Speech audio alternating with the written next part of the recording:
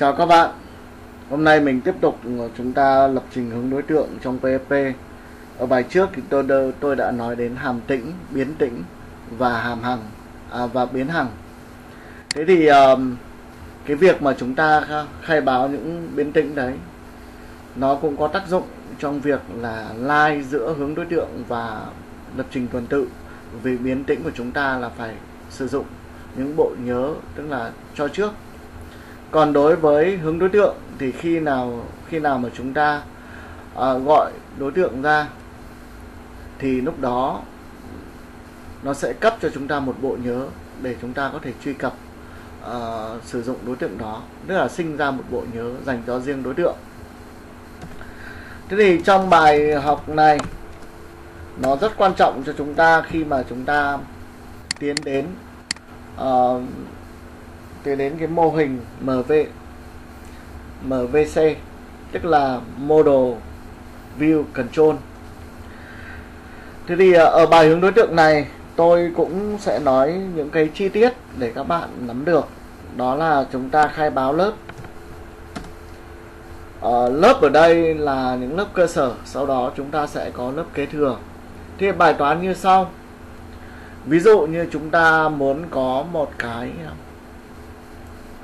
có rất nhiều cái quản lý, ví dụ như quản lý ờ, công nhân này, quản lý học sinh này, rồi quản lý sách này, quản lý thư viện này, vân vân.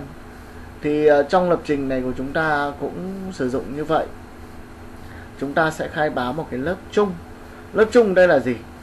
Lớp chung ở đây, nó sẽ lưu giữ những cái thuộc tính ờ, thuộc tính chung. Đấy, ví dụ tôi nói đây là lớp con người thì chúng ta gọi là lớp person hay là trong tiếng Việt chúng ta gọi là lớp người. Trong lớp người đây thì tôi có public tôi muốn truy cập ra phía ngoài thì tôi để public biến họ tên. Ở public đây chính là thuộc tính nhé, hay còn gọi là thuộc tính. Thì chúng ta gọi là những uh, property sau này chúng ta học rồi cao thì nó sẽ là property ở đây chúng ta họ tên tuổi. Public. Ngày sinh. Hay là chúng ta gọi là uh, tuổi giới tính.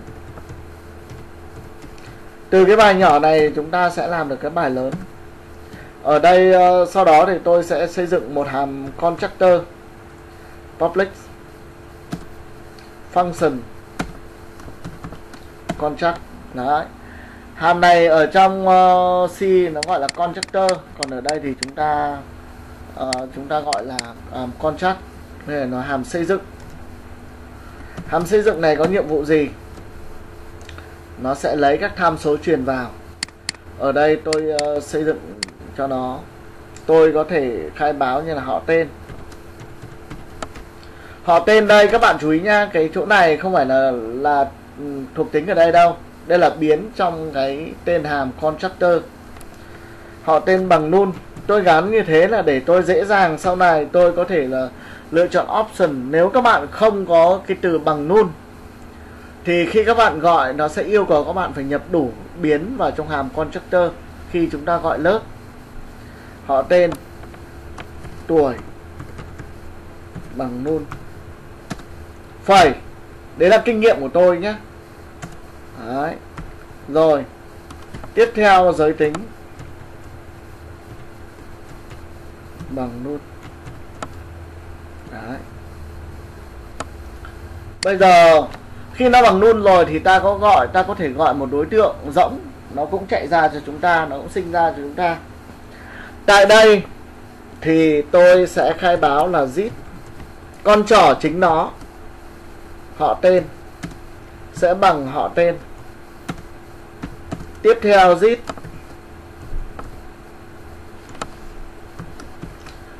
Tuổi bằng tuổi. Đấy. tuổi bằng, xin lỗi, bằng đô la tuổi. Rồi zip.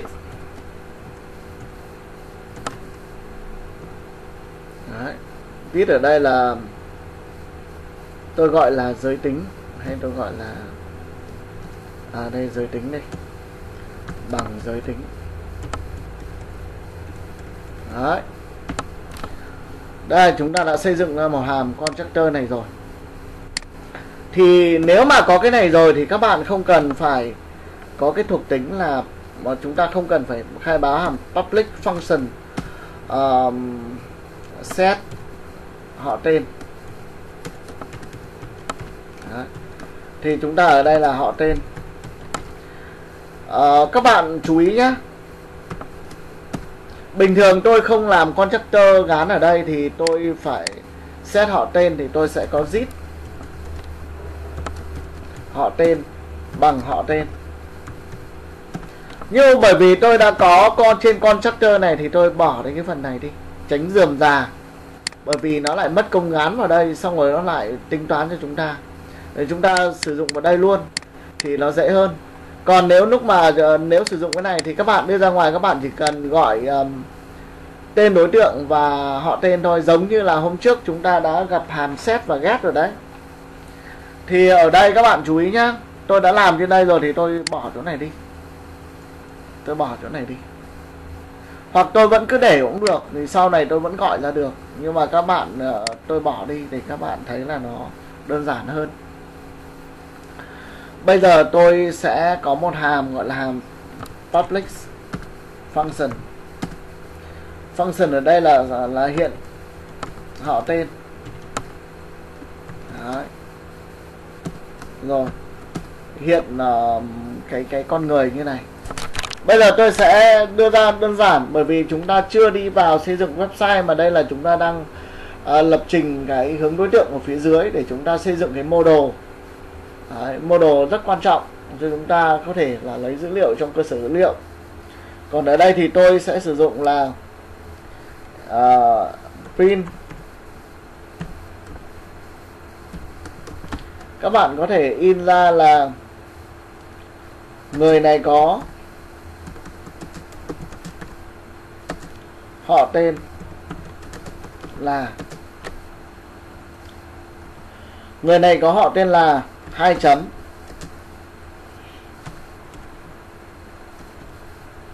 Đấy, tôi zip họ tên. Rồi tiếp theo này các bạn chấm cái đây thì các bạn chấm lên. Và tuổi là tuổi là bạn chú ý nhé tuổi là rồi. Đấy, các bạn cho cái này là để cho nó cách ra một cái nó sang một cái dòng mới. Chúng ta sẽ có là đây là zip tuổi. Đấy. rồi chấm tiếp các bạn cách lên để viết ký tự. Giới tính là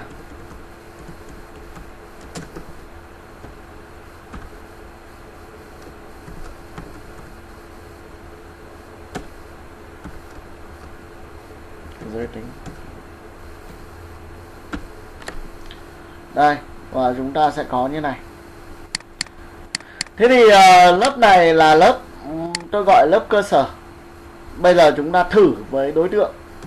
Bây giờ tôi sẽ có một là tôi gọi là con người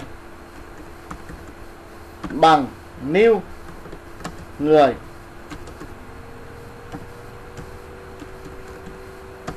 đấy và đây là tuổi, đấy, các bạn nhìn thấy nha, họ tên tuổi thì tính được gợi ý ra. Tôi ghi là Nguyễn Thế Thành. Đó.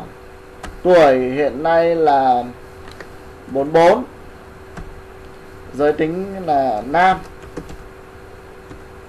Đó. và tôi chỉ cần ghi là con người. Hiện họ tên. Đấy, các bạn nhìn thấy public nó được chạy ra ngoài hết. Các bạn chú ý nha lúc này nó mới là đối tượng con người nó mới là đối tượng. Đấy, nó được là tạo ra bởi một cái lớp có tên là con người. Thì các bạn khi đối tượng này ra thì tham số truyền vào trong con constructor chúng ta không cần phải viết là người chấm con chắc à, mũi tên con constructor nữa mà con constructor chính là đại diện cho lớp này khi nó có cái cổng vào đây đây là cái cổng ta làm cho nó để nó chạy nó à, vào đây. À, họ tên thì chui vào đây tuổi thì chui vào đây giới tính chui vào đây. Nó phân biệt được là đây là biến ở trên constructor nha còn zip tên họ tên thì nó nằm ở đây. Zip đấy chúng ta chú ý như thế. Và bây giờ tôi sẽ chạy cái này để các bạn nhìn thấy này. Tôi chạy cho các bạn nhìn nhá. Đấy. thì cái này nó ở bài trước. À, tôi copy cái này vào thì tôi lấy đường dẫn uh, đặt vào trong đây. Rồi và tôi chạy tôi uh, tôi cố định cái đường dẫn này. Tôi ghi là hàm xây dựng.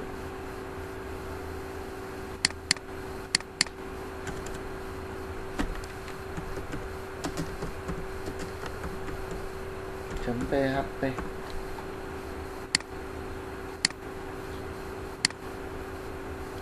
đây các bạn nhìn thấy này. Đấy ra chưa? Đấy. Đúng không? Chúng ta ra luôn đúng không? Thế vậy qua đây thì các bạn có thể là cho này bậc lương này vân vân các thứ. Các bạn có thể nhét vào trong cái chỗ thuộc tính này. À, các bạn đã hiểu được cái vấn đề là khi chúng ta hướng đối tượng là hướng ra cái đối tượng đây. Rồi chúng ta có thể khai báo một mảng các đối tượng được sau đó chúng ta sẽ chạy ra thì mỗi một lần như thế các bạn phải nhập cái cái phần này vào. Thế sau này thì chúng ta sẽ thao tác trên cơ sở dữ liệu thì ta sẽ có rất nhiều cái loại lớp khác nhau hình thái khác nhau. Bây giờ tôi sang phần kế thừa lớp người. Đấy, tôi xóa chỗ này đi để các bạn nhìn thấy là tôi đã ra khỏi lớp đúng không? Tôi xóa đi nhá. Bây giờ tôi sẽ là tiếp tục lớp sau lớp công nhân extends người. Đó. rồi, bây giờ tôi bổ sung là bậc lương. Các bạn chú ý nhé. Tôi sẽ có là public lương. Đó. rồi, public thường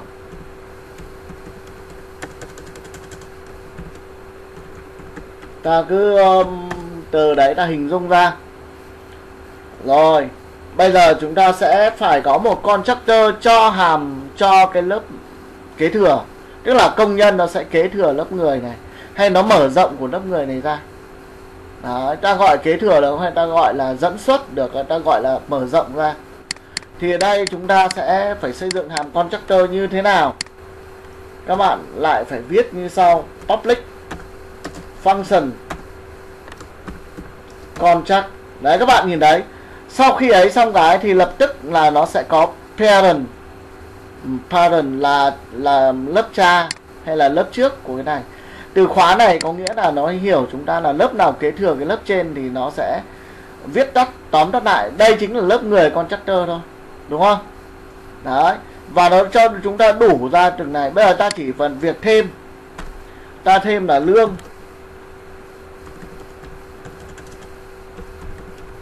Bằng luôn phẩy thường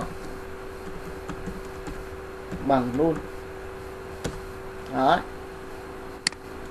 Rồi, bây giờ trên chỗ này chúng ta phải làm như sau. Ta phải zip. Bởi vì ta bổ sung thuộc tính, đúng không? Thì chúng ta phải có lương là bằng lương. Đó. thường zip. Thường,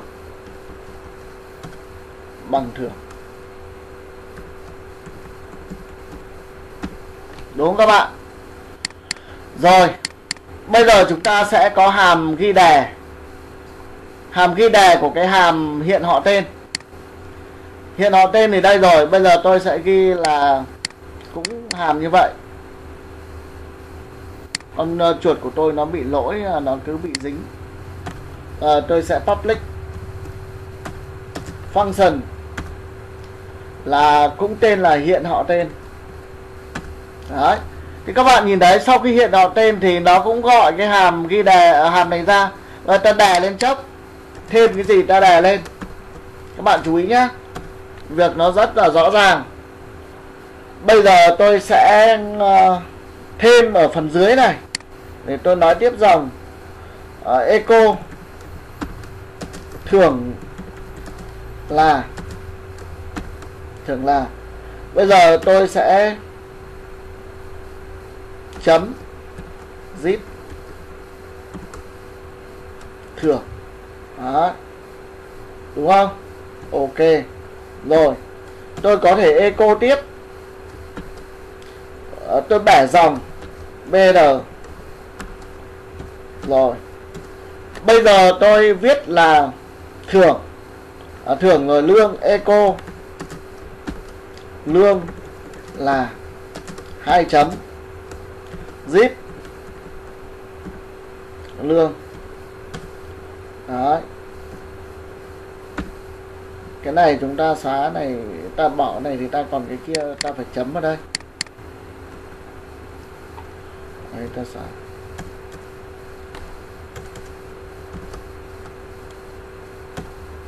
Đó.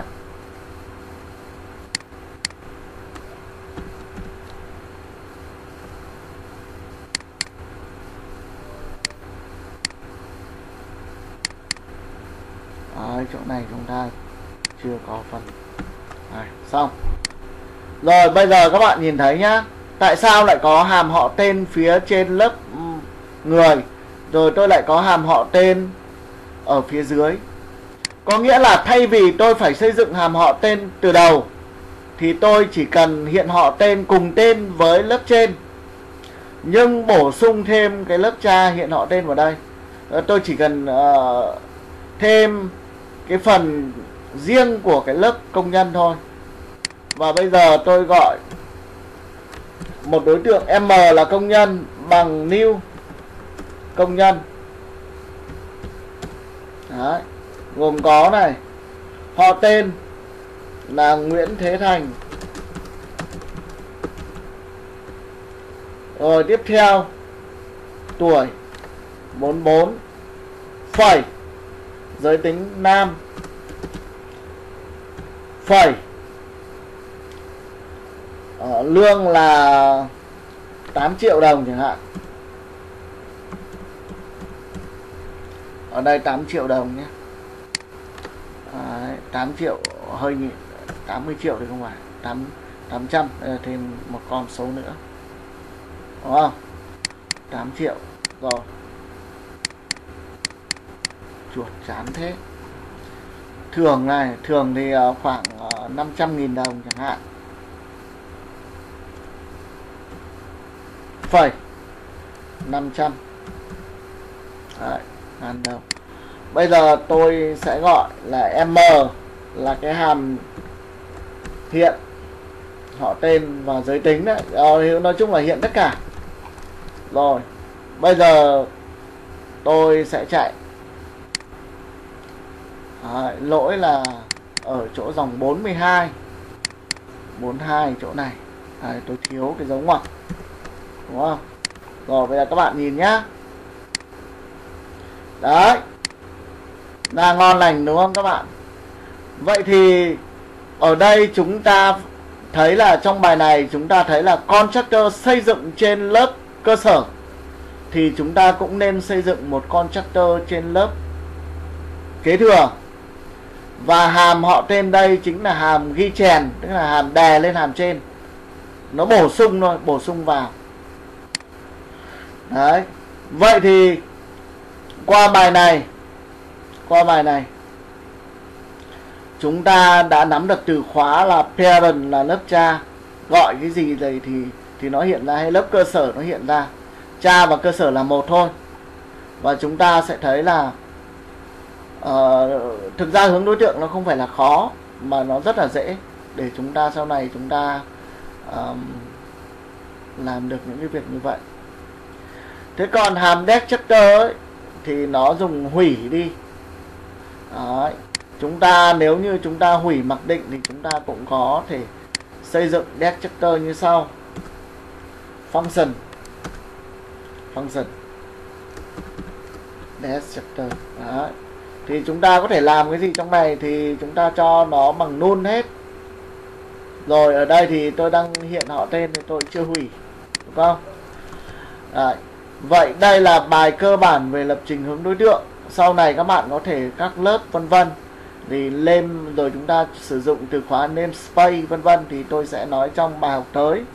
Bài học này tôi dừng tại đây để cho các bạn nắm được kiến thức cơ bản. Sau đó thì chúng ta sẽ vào những cái kiến thức sâu hơn mạnh mẽ hơn sống động hơn. Ờ, các bạn nhớ ủng hộ cho kênh của tôi để ờ, kênh càng ngày càng phát triển và các bạn chia sẻ cho những bạn mới học lập trình để các bạn biết được. Thì ờ, tôi cũng đang có ý định là tôi sẽ dạy cho các bạn về cấu trúc dữ liệu giải thuật trên ngôn ngữ PHP Đấy, bởi các bạn nắm được đâu là ngăn xếp đâu là hàng đợi đâu là đồ thị đâu là hình cây cây cân bằng rồi cây nhị phân search search nhị phân rồi tìm kiếm nhị phân và sắp xếp nổi bọt sắp xếp lựa chọn sắp xếp chèn vân vân. Đấy là những cái kiến thức cơ bản của những bạn mà muốn đi sâu vào lập trình. Còn nếu mà chúng ta đi học ở trung tâm thì chúng ta chỉ học cốt một cách tức là nó nó không có cái tư duy uh, một cách khoa học. Bởi vì nếu chúng ta không tư duy khoa học và không nắm được cái đó thì chúng ta không thể điều khiển được và sửa lỗi được chính bài này thì tôi cũng muốn ờ, các bạn là những bạn nào đã học giỏi rồi và đi làm rồi thì tôi không nói. Và những bạn nào chúng ta là đang ờ, mới bắt đầu chập chững. Bởi vì diễn đàn là cho chúng ta thảo luận chập chững mà, là thảo luận kiến thức. Và tôi cũng mong các bạn là hết sức thông cảm, bởi vì có thế nào tôi nói như thế. Hiểu sâu đến đâu thì tôi chia sẻ cho anh em để chúng ta cùng tiến bộ, giúp mọi người sau này biết đâu có các bạn để kiếm được một cái nghề tốt với cái kiến thức cơ bản để các bạn uh, sau này uh, thành công. Đến lúc thành công thì có thể các bạn nhớ đến tôi hoặc cũng không sao bởi vì cuộc sống thì người ta bảo là mình hãy cho đi rồi sẽ nhận lại. Dù nghèo hay giàu thì cũng sống nên sống có ý nghĩa một chút thế là tôi cũng chân thành và muội nói như vậy. Có thế nào thì các bạn thông cảm cho tôi. Bài học đến đây tôi kết thúc.